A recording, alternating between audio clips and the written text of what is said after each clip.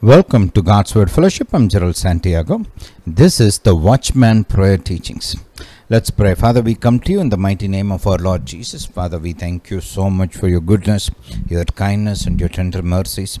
Father, we pray that you help us to remember you. Father, we pray you help us to remember your goodness and your help and your grace and your supply in our life. And Father, we pray you teach us to be grateful. And um, Father, we pray you help us to draw near to you and be in close fellowship and communion with you. Father, you are our Heavenly Father, our God. Father, we thank you, made us your children and your uh, family. Father, we thank you that you made us capable of having intimacy with you. Father, we thank you, you made us capable of drawing into a close fellowship and communion with you. Father, we appreciate it, we thank you for it, and we praise you for it. Father, we pray you teach us your word today. Father, we pray you grant us wisdom, knowledge, understanding, skill, and revelation in your word, your will, and your love. Father, we pray you teach us, train us, and help us to pray. Father, we pray you grant us wisdom, knowledge, understanding, skill, and revelation to pray, to intercede, and to function as watchmen. Father, we pray you raise up intercessors and watchmen in the body of Christ. Father, we thank you so much for your glorious help for us. Father, you are good and your mercy endures forever. Father, your love endures forever. Father, your faithfulness endures forever. Hallelujah to Jesus. Thank you, Father. Thank you, Jesus. Glory be to God. Blessed be your holy name. Father, we pray you stretch out your hand to heal. And Father, we pray that your healing anointing drive out every form of sickness and every form of disease and every form of pain from the bodies of those who are listening to me. And Father, we pray that your anointing break every yoke, remove every burden, break every chain. Father, we pray for your comfort for your people. Father, we pray you grant them strength in their spirit, soul, and body. Father, we pray you grant them peace. Father, we pray you grant them strength to move forward, to overcome, to triumph, to succeed, to prosper. Father, we thank you for your glorious help in our lives. And Father, we also pray that you are our refuge, our fortress, our God, in you we trust. Father, we, you are our protector. Father, you are our shade upon our right hand. Father, you are our shield and our exceedingly great reward. Father, we pray that you keep us as the apple of your eye. Father, we pray for your mighty protection upon us, our families, our household, and all that belongs to us on every side. And Father, we pray that you preserve our going out and our coming in.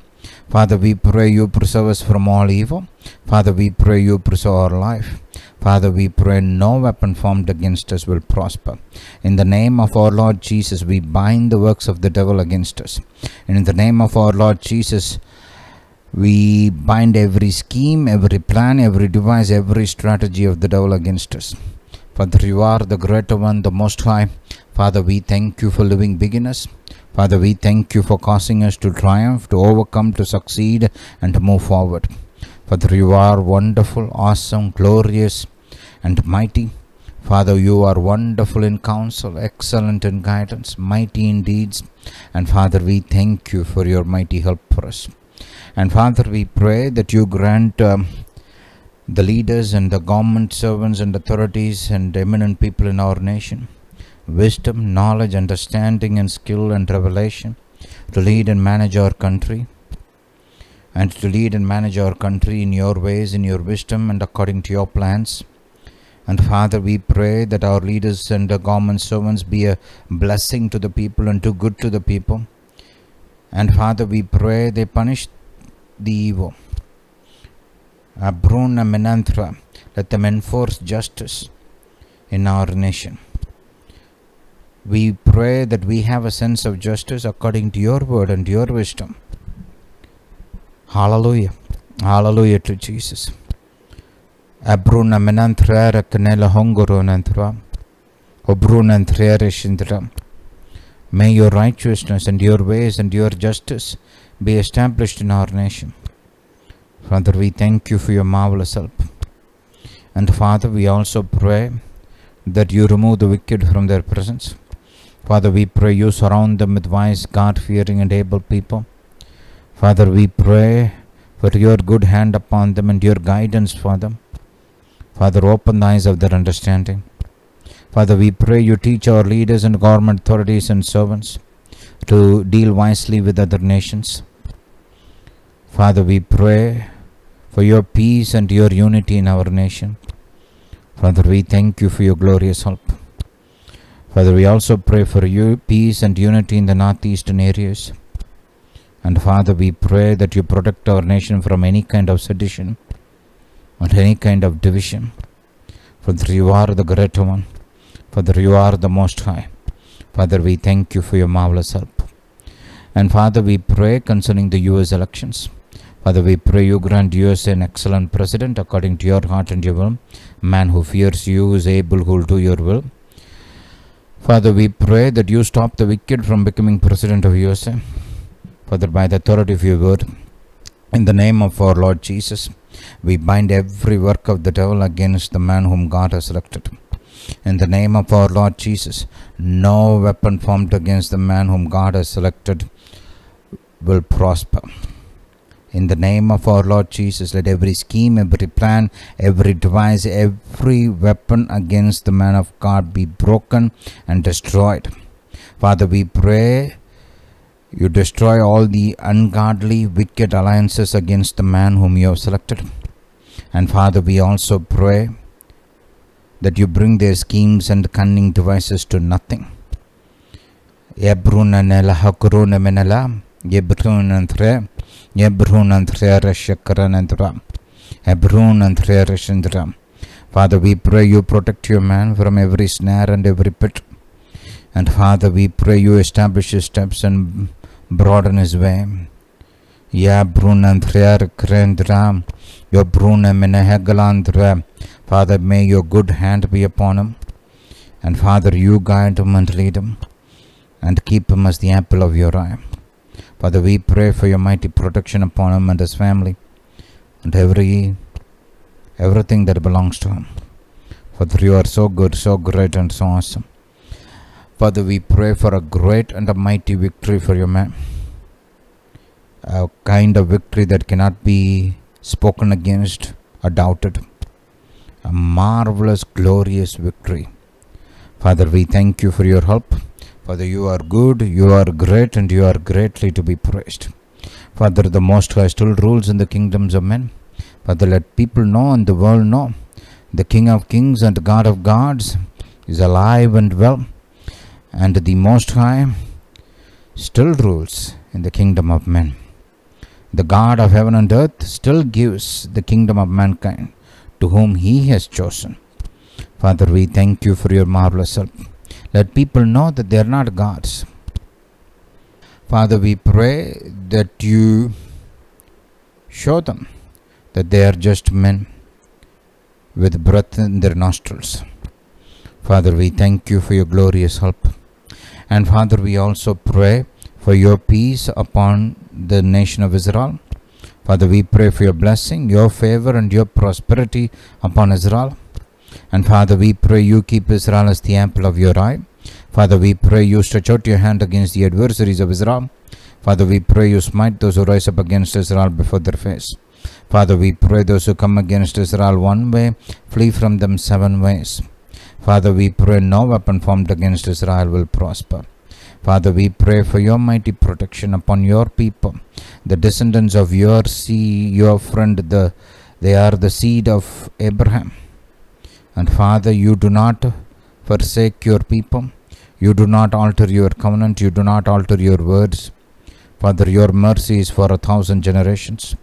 Father, we pray for your mercy and your faithfulness upon Israel.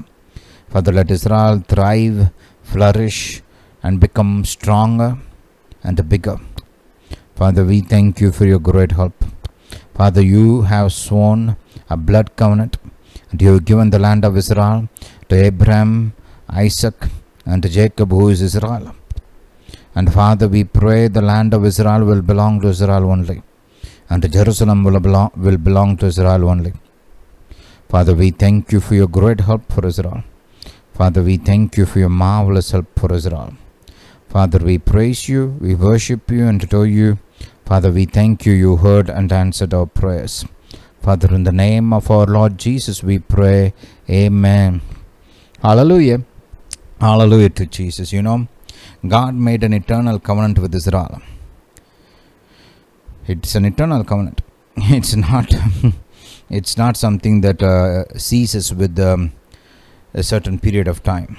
It's an eternal eternal covenant, and it's a blood covenant, and God has not forgotten it. Man may forget it. Man may try to erase it. Man may reject it. Man may rebel against it.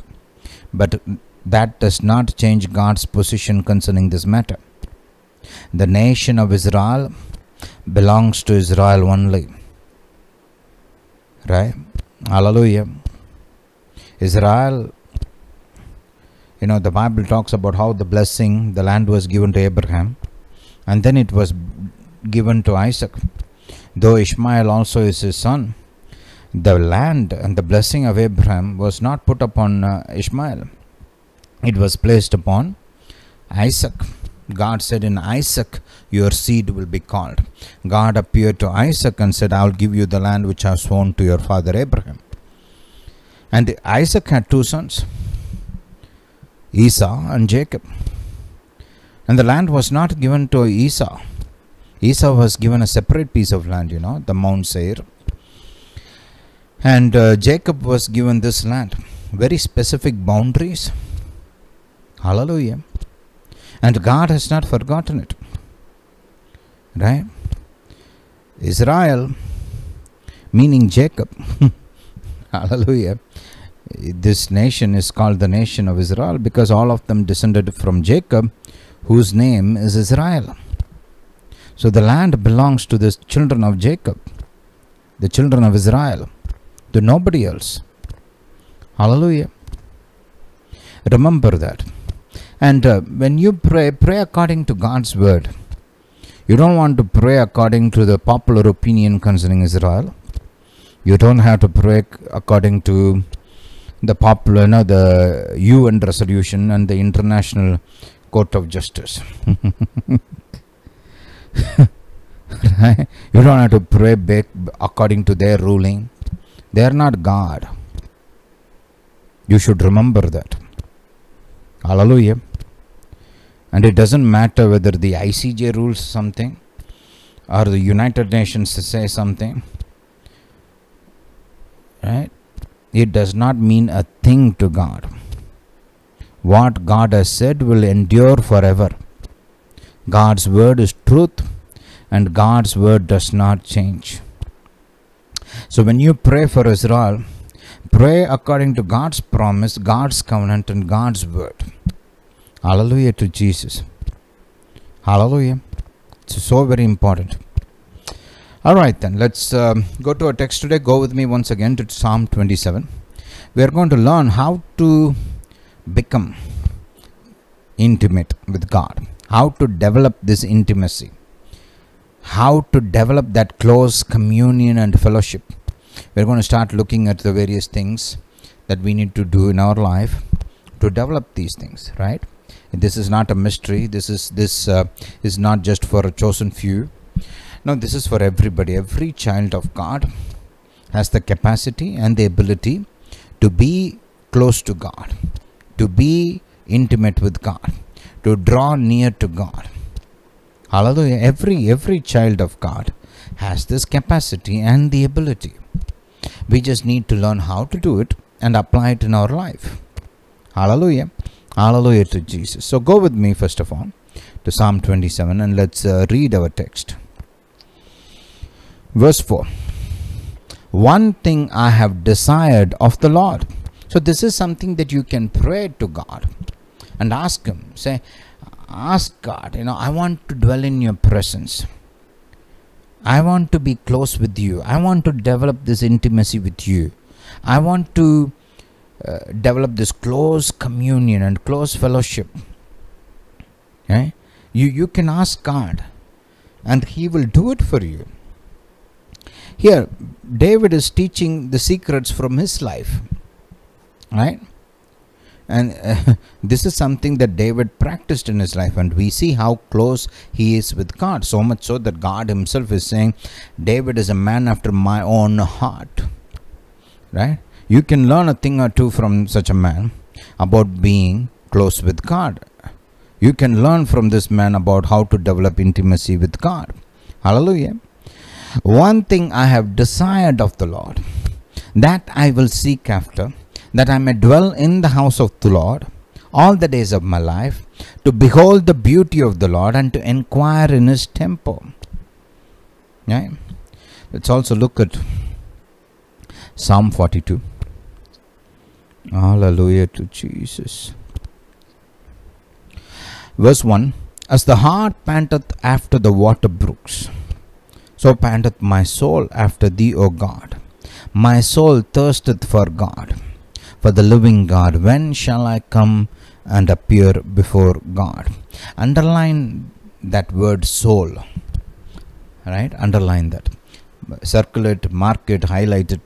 Right? So notice the connection between soul and thirst and desire and intimacy. Right?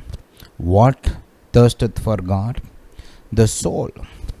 Soul you know most of the time we we focus on the heart but we forget involving the soul in while we are seeking god. We focus on our heart sometimes we focus on our words. Now all those things are relevant and good and accurate and we should do it but we don't focus so much on the soul part of it. See being intimate involves emotions thoughts, desires, imaginations, right? And of course, the word that genuinely comes out of those things, right? All these things are involved in an intimate relationship, right?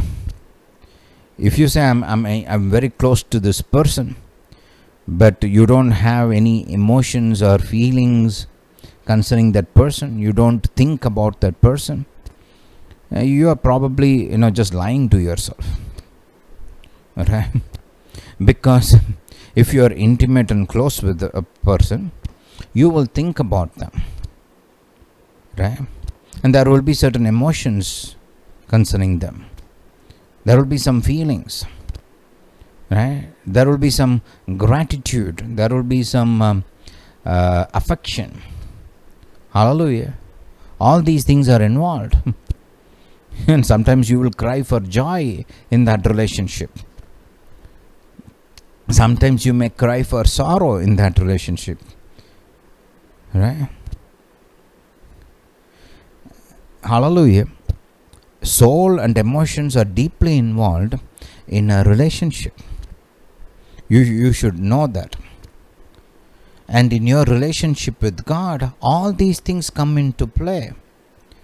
The desire the emotion, the feeling, the thoughts, the imaginations, the gratitude, even tears, even laughter. All these things come into play in your relationship with God. So you, you got to remember this. Hallelujah. Look at verse 4. When I remember these things, right? My tears have been my meat day and night, while they say continually unto me, Where is your God? When I remember these things, notice again, I pour out my soul in me. Say soul. Right? There, is, there are verses which talk about pouring out your heart. That's also true. Here he is talking about pouring out your soul. Right? For I had gone with the multitude, I went with them to the house of God, with the voice of joy and praise, with the multitude that kept holy day. Why art thou cast down, O my soul? Why art thou disquieted in me? Hope thou in God, for I will yet praise him for the help of his countenance. Notice, you should develop hope in your soul so that you can praise him. Right? Hope is, is predominantly in your soul right hope in god hope is the anchor of the soul hope protects your soul and your mind and it produces praise. Hallelujah. Hallelujah to Jesus. So underline these things, write down these things, very important. Now, keeping these thoughts in mind, let me show you another scripture. Go with me to Psalm 103, very familiar passage with uh, for most of us, but we are going to study it from this angle. Notice he is saying, Bless the Lord, O my soul, and all that is within me, bless his holy name. Bless the Lord, O my soul, and forget not all his benefits. So, your mind, your will, your emotions, your feelings, your desires, your imaginations, all these things get involved in blessing God, in giving thanks to God, in praising God, in worship. All these things need to get involved. Right? Do you see this? Many times, have, have you noticed sometimes people, you know, they will sing, right? But they are not involved in their singing. Have you noticed that? Right? Their mouth may be uttering those words, but they are not into it. Why? Because their soul is not getting into it. Their thoughts, their emotions, their feelings are, are running wild. It is dwelling on something else. It's not connecting with God. Right? So uh, when when that person gives thanks to god or he praises it's it's more of a, you know a routine or it's more of a tradition or it's just lip service right? You know it's like you know their with their mouth they praise me but their heart is far from me you get into that kind of a scenario there. So how do you get your soul involved in um, giving thanks to God or praising and worshiping. How do you do that? Because intimacy requires that. Intimacy requires your soul to be involved in it. Love happens in the soul realm. Yes, we talk about you know the love is of the heart. That's true. Not saying no, right? But it is in the soul that a lot of it is expressed it is through your soul you do that. Because, see, your dreams, your imaginations, your emotions are all in the soul. Right? Let me show you some scriptures from. Go to Song of Solomon's. Song of Solomon. Hallelujah. And here you will notice a, a particular phrase repeated over and over and over again. The one whom my soul loves. What loves? Soul. Go to chapter uh, 3, Song of Solomon's, chapter 3. By night on my bed I sought him whom my soul loves. You would have heard the term soul ties, right? Been around uh, the, the Christian world, and if you're familiar with various uh, factions, you know, various uh, you know groups you, you, would hear this particular um, term soul ties. And there there is a, a genuine bible teaching behind that right? Uh, i don't want to go into that but you know there is that concept. Why? Why is there a soul tie? Because see they are invested they were invested in that relationship through their thoughts their constant thinking their constant meditation right? That that emotion that was birthed out of it the, the the the feelings that were generated because of those thinking and that fellowship and the time spent all that binds your soul with, with that person. You know you start thinking a lot about them constantly thinking okay so anyway uh, look at this. If you go to verse 2 again, I will rise now and go about the city in the streets and in the broad ways I will seek him whom my soul loves. Verse 3 The watchmen that go about the city found me, to whom I said, Saw, saw ye him whom my soul loves. Right? Over and over again. So notice uh, in, when you are in love with a person, when you the soul is involved. Hallelujah. Without the soul, uh, you won't uh, enjoy the process of love. The- you, you, you, you, really won't. Right? If when, when your soul is not involved in it, it would be like a interaction between an employer and an employee. Right? Or with strangers who are just in a meeting for the because they they need to do it for executing a business deal or uh, you know to fulfill social norms.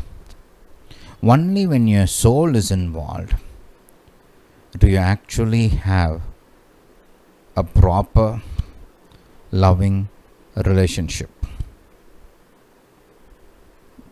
Right? Keep that thought in mind. Let me show you another scriptures. I want to lay a foundation for this.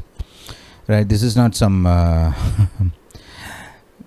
crazy teaching outside the word of god i will i want to give you a lot of scriptures so that you will understand what i'm saying go to first samuel and look at chapter 18 Uh, look at the beginning of that uh, chapter and it came to pass when he had made an end of speaking unto saul that the soul of jonathan was knit with the soul of david and jonathan loved him as his own soul Notice uh, again, this is between two men. This is a friendship, right? But again, even in this friendship, the soul is involved, right? What got knit together? The soul of Jonathan was knit with the soul of David. And Jonathan loved him as his own soul. This relationship was so strong that Jonathan was willing to displease his father, who was a king. Hallelujah. Right? This is genuine love. And notice, if you notice, their soul is involved in it. They love each other, they do things for each other, right? They are protecting each other. Jonathan even risked his life to help David. Hallelujah. Went against his family, went against his father's desire incurred the wrath of his father. Eh? His father publicly insulted him because he took the side of David. But Jonathan was willing to go through all that because he- he loved David.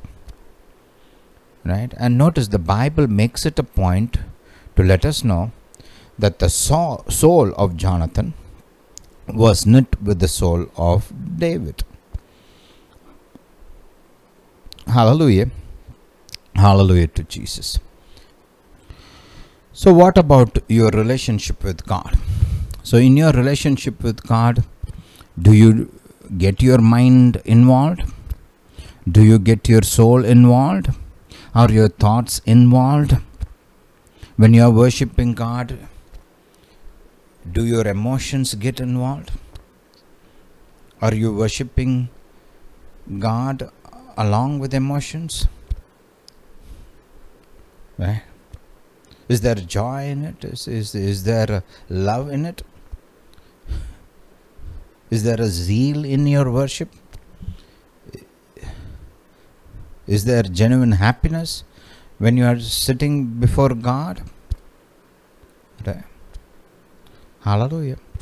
You know, sometimes, you know, we don't feel like praying, but yet we pray because, you know, for various condition reasons maybe you didn't sleep well you're still feeling tired maybe you worked a lot maybe you pulled a uh, 14 hour long shift and then you are sitting in church right trying to praise god and pay attention to what is being said see and in those kind of times and I, understand you know if, if your feelings are not getting involved in what is happening. Right it's true you know. You know sometimes maybe you know you you had a a fight in your house and and after having a fight you are coming and uh, you, you are entering into the presence of god. And, and to begin with you know when when, you, when people are singing or you want to give thanks to god you know your lips are moving but the mind is not getting into what you're doing. Your soul is not getting involved right? I understand all that. And i understand the fact that you should you know pray even when you don't feel like it. I, I understand all that. That's a good thing to practice because if you're going to lean entirely on your feelings and you know you won't pray much. But at the same time you need to learn how to train your soul to get involved with god to get involved with his word to get involved in his presence you need to train notice the commandment of god commandment of god go to deuteronomy chapter 6. Notice God is very specific about what He wants from His children. Right? Verse 4 and 5 Hear, O Israel, the Lord our God is one Lord, and thou shalt love the Lord your God with all your heart, and with all your soul, and with all your might. Right? So notice God wants your heart involved in it. God wants your soul involved in it. God wants your mind involved in it. God wants your strength involved in it. Hallelujah. It's a very specific commandment. God could have just said, Thou shalt love the Lord your God. God could have stopped right there. Right? But God goes in, into the details. He's on purpose explaining it with more words so that we will know how to love Him and what all should be involved in our love for Him. Hallelujah. And thou shalt love the Lord your God with all your heart, with all your soul, and with all your might. So, all these things need to be involved in your love for God. Hallelujah. Right? So we need to learn how to get our soul involved. What does it mean to love God with all your heart, with all your soul, and with all your mind? First of all, we are going to focus on the soul part. It's important because most often that's what we miss, and and um, we need to learn how to train our soul so that we can love God with all our soul. Hallelujah. Hallelujah to Jesus. If you notice, the Bible says, Bless the Lord, O our soul. Let's go there again. I will introduce certain principles and points and then we will discuss that in more detail in the next message. Psalm 103. Psalm 103. Bless the Lord, O my soul. So notice again, he is saying, get involved in it. right? You need to be involved in blessing God. So David is speaking to his soul.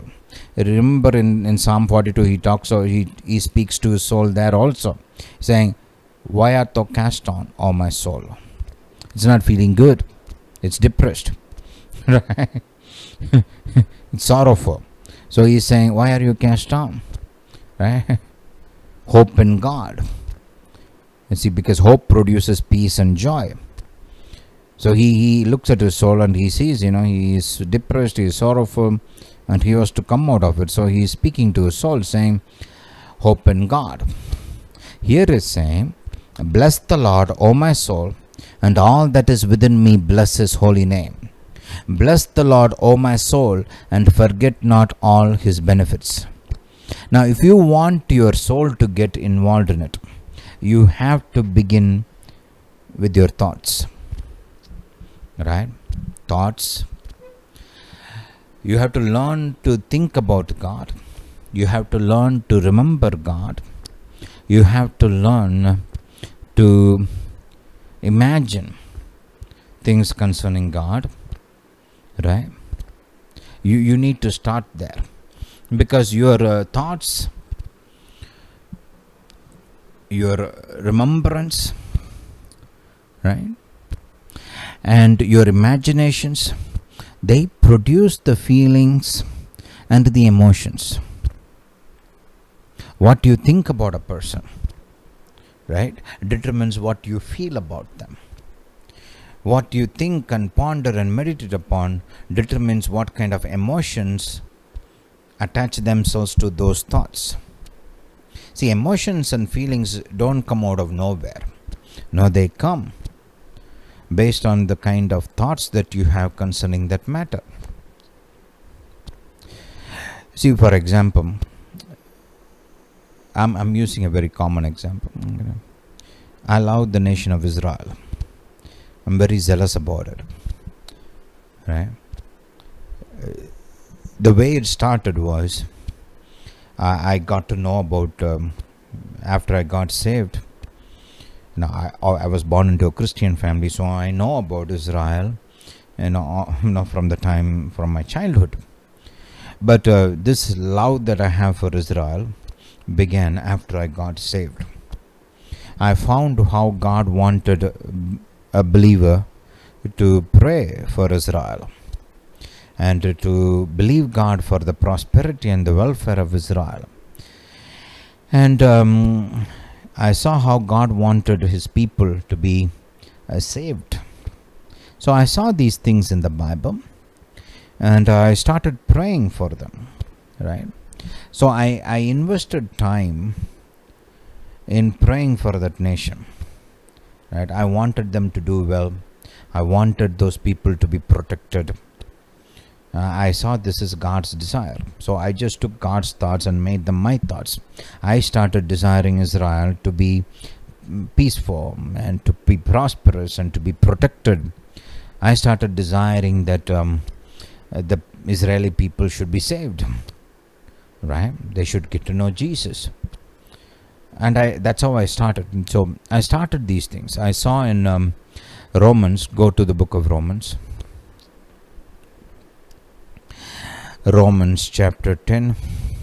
Look at verse 1. Brother, my heart's desire and prayer to God for Israel is that they might be saved. Right? And um, if you go and uh, look at uh, chapter 9, hallelujah to Jesus. In, in, in, in this place, he says, yeah, verse 3 verse 2 actually that I have great heaviness and continual sorrow in my heart for I could wish that myself were accursed from Christ for my brethren my kinsmen according to the flesh talking about Israel.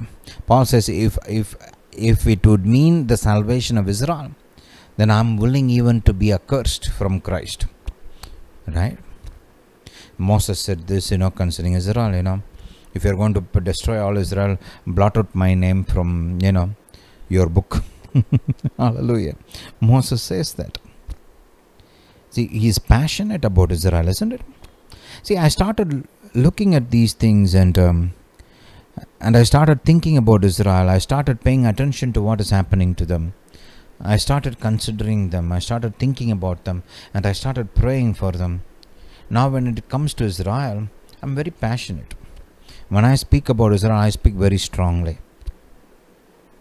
Right? And my mind, my heart, and my emotions are involved in it. Right? When I say something about Israel, I mean every single word that I speak.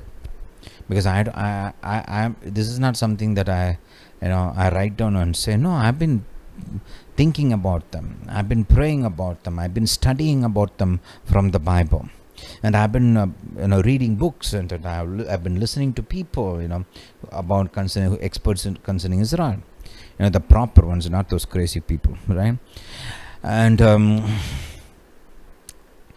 and over a period of time there is a wealth of thoughts a treasure house of thoughts and a treasure house of um, desires and emotions built into me concerning Israel so when I pray for Israel, or when I teach about Israel, or when I say things about Israel, my soul gets passionately involved in what I'm saying. Right? I don't have to try it. I don't have to fake it. It is there. It's involved. Hallelujah. My soul automatically gets involved when I start saying anything about Israel. You understand this? right so let me give you this hint if you want your soul to be involved in your relationship with God you should learn to think about God that's why the Bible teaches us to meditate in His Word day and night. Because when you start thinking about him you will start developing affection for him. You will start developing love for him. When you start thinking about it it will start producing desires. And it will start producing uh, affection. When you start uh, considering what god has done for you and how he has helped you right you will start developing gratitude. You will start developing a deep sense of affection for god. So you if you want your soul to involved to be involved in your relationship with god you have to you have to involve your mind your thoughts your imaginations into this relationship. That's when your soul will get involved. We'll, we are going to talk more about that in the coming messages thank you so much for listening. God bless you. Jesus is coming soon